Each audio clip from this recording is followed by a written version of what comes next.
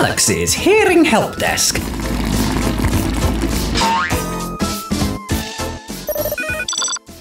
Aha! I've got a call. Ahem. Hallux's hearing help desk. Hi, Professor Hallux. What's the smallest bone in the human body? Interesting question. Maybe you can have a guess. Bones come in all sorts of shapes and sizes. Could the smallest bone be a rib? Bones come much smaller than ribs. What about the knobbly vertebrae which makes up your back? Wrong again. Might it be your fingers or even your toes?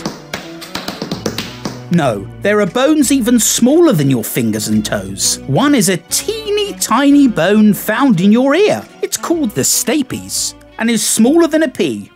At less than 3 millimeters long, it's shaped like a stirrup. In fact, that's where the word comes from. The word stapes is a Latin word for stirrup. This bone has got nothing to do with horses, although all animals have a similar bone. In humans, the stapes works with two other bones called the malleus and the incus. These bones, just like the stapes, are named after their shape.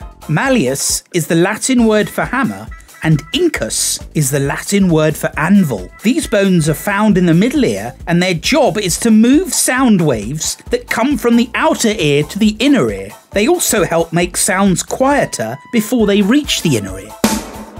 Together, these bones are called ossicles, which literally means little bones. Since they are in your middle ear, they're not the sort of bone you're likely to break. Although they are small, they're vital in helping us to hear, and by hearing, we can make sense of the world around us.